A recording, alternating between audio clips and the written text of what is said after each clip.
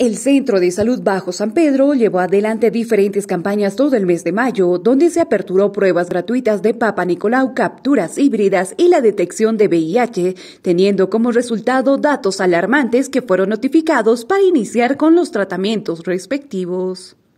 Bueno, hemos realizado alrededor de 40 pruebas de Papa Nicolau y también pruebas eh, de captura híbrida. Y de estos hemos encontrado dos casos positivos de cáncer de cuello uterino in situ.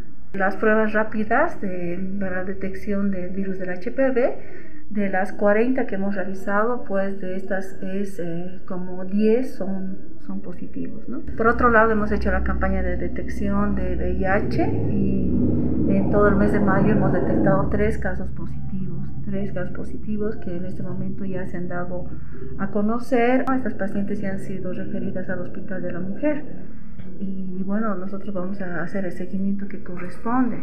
Pero lo que aquí hay que resaltar de que realmente son vidas. Por otra parte, la doctora Rose Yupanqui, directora del Centro de Salud Bajo San Pedro, agradeció a todo el equipo de trabajo que contribuyeron al desarrollo de las campañas para poder llegar a la población que se benefició con las diferentes pruebas.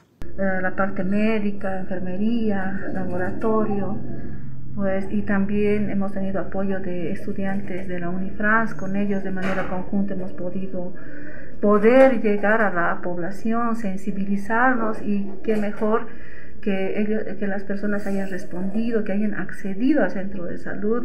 Finalmente, la doctora Yupanqui destacó la apertura del centro de salud los días sábados desde las 7 de la mañana a 19 y 30 en servicio a la ciudadanía que no puede acudir los días hábiles. Es un mensaje del CEDES La Paz, Gestión Guaynamaicu.